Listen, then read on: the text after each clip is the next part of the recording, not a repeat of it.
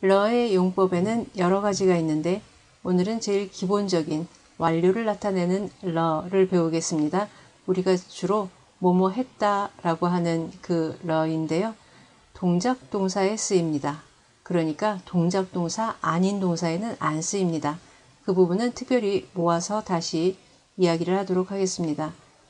어떤 동작이 이미 일어난 것을 나타내는데 미래 완료도 포함이 되기 때문에 오늘 대부분 했다 했다 하면서 이야기를 하겠지만 미래 완료에도 쓰인다는 걸 기억해 두십시오. 그러니까 100% 과거의 러라고 기억하시면 조금 다를 수 있습니다.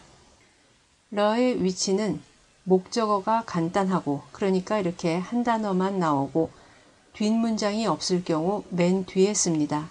吃饭了,喝咖啡了 이렇게 쓰고요. 목적어가 간단하고 뒷문장도 없는데 앞에 쓰면 틀립니다.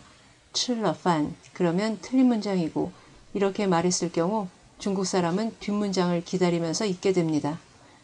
두 개 다 쓰시는 건 상관없습니다. 칠러판러, 허러, 카페일러 이렇게 두 개 쓰시는 거는 상관없습니다. 목적어가 간단하지 않을 경우 그러니까 목적어에 양사 혹은 다른 수식어가 붙을 때는 뒤에 써도 괜찮고 둘 다 써도 괜찮지만 주로는 앞에 쓰게 됩니다. 买了什么书 买了一本汉语书 부정 형태는 단독으로 no 이렇게 얘기할 때는 没有 하시면 됩니다. 동사를 달고 얘기해도 되죠. 没有买 동사가 있을 경우 여우를 생략 가능합니다. 没买 종종 아직 안 했다라는 의미의 还와 함께 쓰고 이 경우에는 끝에 呢를 쓰기도 합니다. 제일 간단하게는 아직 안 했다 还没呢 이렇게 대답할 수 있고요. 还没有呢 还没吃呢 이렇게 할 수 있습니다.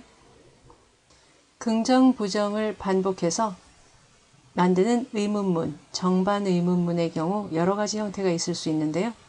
吃了没有 吃饭了没有? 吃没吃饭? 이런 등등의 형태가 있을 수 있겠습니다. 러지오 용법이 있는데요. 뭐뭐 하면 뭐뭐 하다 혹은 뭐뭐 하자마자 뭐뭐 하다 이런 용법입니다. 我下了课就给你打电话. 내가 수업 끝나면 바로 너에게 전화할게. 이렇게 되는데요. 이런 경우에 我下课了 여기에 쓰면 틀린다는 얘기입니다. 여기에 쓰게 되면 중국 사람이 문장이 끝난 줄 알아요. 수업 끝났어 라는 말이 되고요. 뒷말이 이어질 수가 없습니다. 뒷말이 있는 경우 앞에 쓰게 되겠고요.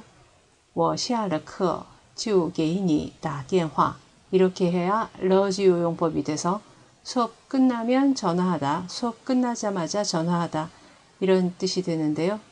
예문을 보도록 하겠습니다. 결혼은 언제 할 건데 아, 남자친구가 아직 학교를 다녀서요. 그가 졸업하면 결혼할 거예요. 이렇게 얘기를 한다면 러지우 용법을 쓸 수 있는데요. 타 삐러예 워먼지우지훈 이렇게 써주셔야 됩니다. 동사를 반드시 앞에 써주셔야 한다는 얘기지요. 만약에 이런 문장이 있다고 하면 그리고 그 문장이 틀린 문장이 아니라면 의미가 위엔 문장과는 뜻이 다릅니다. 타삐예러 여기서 문장이 하나 끊어져요. 그 사람이 졸업을 했어요. 我们就结婚 우리는 결혼할 거예요. 예를 들어서 여러 가지 문맥에 쓰일 수 있겠죠. 재혼을 하려고 하는데 아이가 학교 다닐 때까진 기다렸다가 졸업을 하면 하려고 했는데 이미 졸업을 했으니까 우리 아들이 졸업을 했거든요. 그래서 우리가 결혼을 할 거예요. 이런 문맥에 쓸 수 있는 문장이 됩니다. 그가 졸업하면 결혼할 것이다. 이것과는 의미가 다르지요. 앞에를 제대로 썼다고 해도 지오를 주어 앞으로 쓰게 되면 틀리게 됩니다. 두 문장의 주어가 틀릴 경우 지오는 반드시 뒤로 가야 합니다. 워먼지오지의 혼